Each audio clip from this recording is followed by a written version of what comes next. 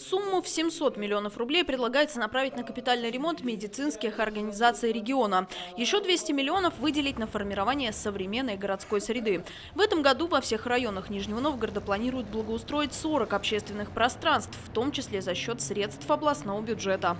Достаточно много денег на э, по-прежнему э, подготовку к 800-летию э, Нижнего Новгорода. На самом деле программа это действительно очень обширная.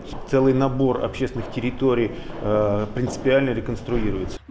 Более 2 миллиардов рублей планируется направить на увеличение расходов дорожного фонда. Дополнительные средства предложено направить на приобретение контейнеров и обустройство контейнерных площадок. Это более 92 миллионов рублей.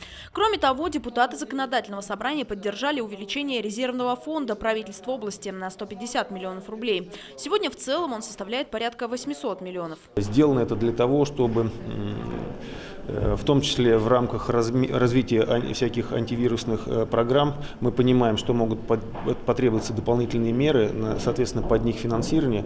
Э, и сегодня уже превентивно, но начинаем такие резервы создавать.